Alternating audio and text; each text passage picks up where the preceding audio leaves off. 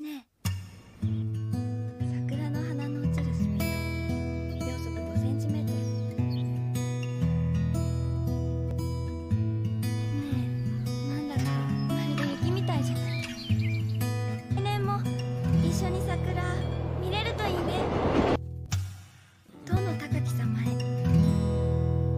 私たちが最後に会ったのは小学校の卒業式でした。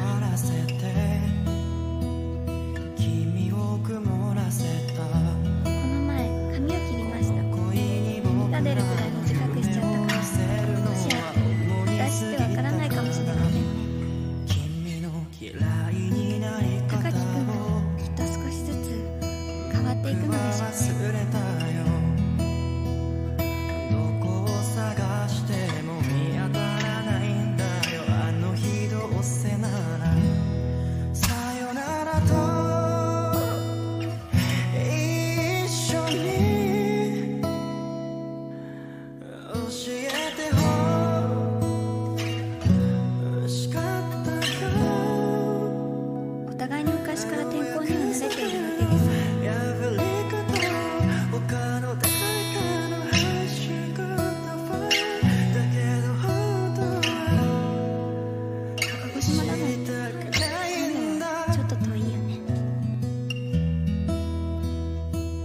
いざという時に電車に乗って会いに行けるような距離ではなくなってしまうのは